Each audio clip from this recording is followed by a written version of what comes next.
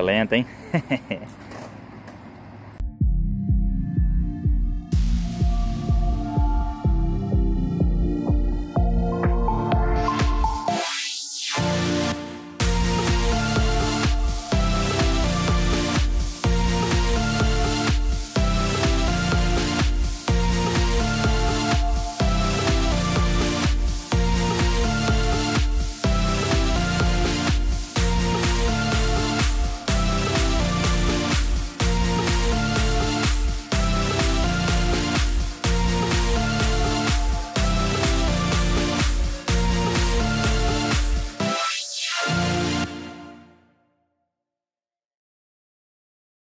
Salve Rangers, beleza? Rangel aqui, sejam bem-vindos a mais um vídeo Vídeo de hoje que a gente vai trazer o terceiro Fusquinha do Reginaldo Fiz uma votação que ela gostou demais dele também E estamos aqui também com o Márcio, tá aqui com nós Fala galera, nós. Do Xerecrez, Fusca Xerecrez Estamos aqui com o Reginaldo É nóis Fusquinha dele, Reginaldo, como é que você tá? De boa? Vai, pegado né? Tranquilo, né? Só na paz. Conta pra nós um pouquinho do Fusquinha pra nós, Reginaldo. Então, Marcelo, esse Fusquinha aqui, eu comprei ele, foi do senhor. Eu ficou com ele uns 15 anos, que eu fiquei sabendo, né? Comprei dele, dei nele um talento, vendi ele um colega meu.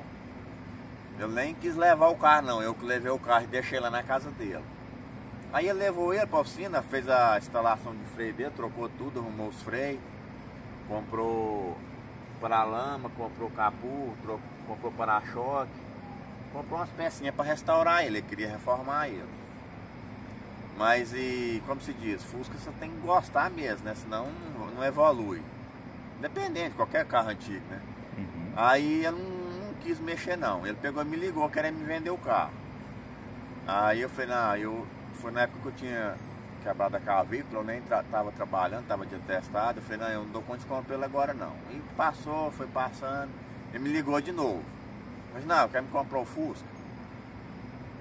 Aí eu falei, não, eu comprei esse Fusca para trás. Aí eu já tinha mais ou menos pensamento na cabeça, né? O que, que eu queria fazer.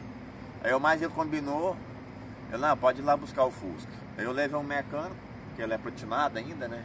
Levei um mecânico, a bateria não funcionando aí, levei ele embora, me deu as peças paralamas que ele tinha comprado, eu fui montei, porque eu já pensei mais ou menos em mudar o estilo dele, né? Montei os paralamas dessa cor. Claro, eu dei neles um talento, né? Pra ele ficar nesse estilo aqui, né? Não mais rústico. É, o capu ele tinha comprado, porque os, os, o paralama dele, os dois paralamas e o capu não era bom não. Ele pegou e comprou esse capu também já branco, eu dei nele um, uma lixada.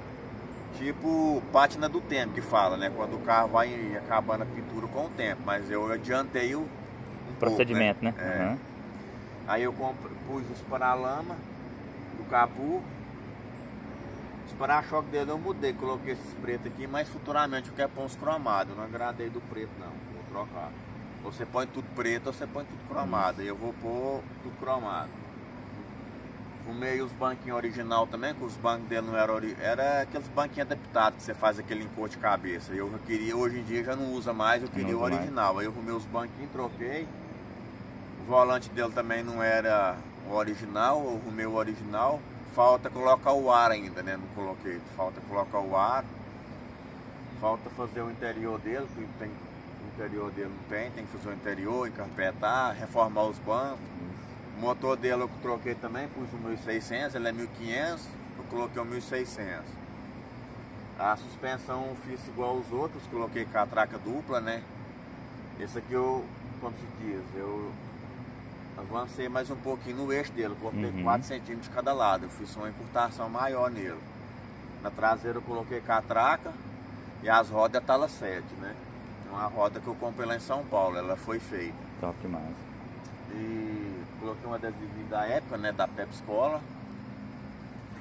e é isso aí, mas futuramente não tem que mexer, né? Igual eu falei, vou trocar o para-choque, vou fazer o interior, né? Vou é fazer o interior, trocar o para-choque, pôr os retrovisores cromado, uns detalhes que tem para fazer nele, né? Mas em termos de pintura, isso aí mesmo, não vou mexer mais não. Mas é só acessório mesmo. Aí, Rinaldo. Obrigadão, tamo junto. É nóis. Vou mostrar um pouco pra vocês aqui da, da diferença do eixo, olha lá, ó.